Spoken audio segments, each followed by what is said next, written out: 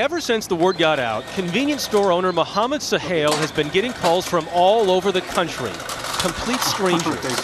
I'm calling from Chicago. The world needs more nice people like you, so good job.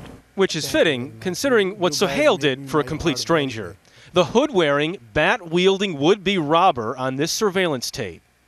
What did he say to you? The guy come over here and uh, take the baseball bat and say, "Give me money, give me money." Sohail reached under the counter for a 9mm rifle. Were you scared? Not really. You know why? Because he have a baseball bat. He have a baseball bat. He's scared with me. You had a gun. I have a gun, of course. The gun was not loaded, but the robber didn't know that.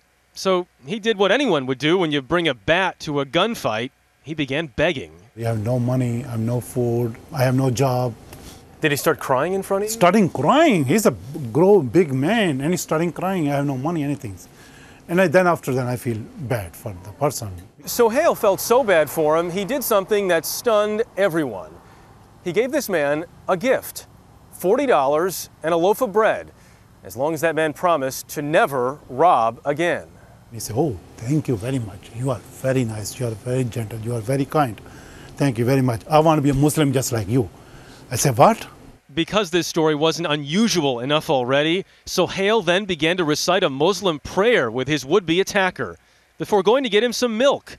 When he returned, the man was gone. He did take the bat. Left behind, the convenience store owner who's made headlines by fighting crime with compassion. Jeff Glor, CBS News, Long Island, New York.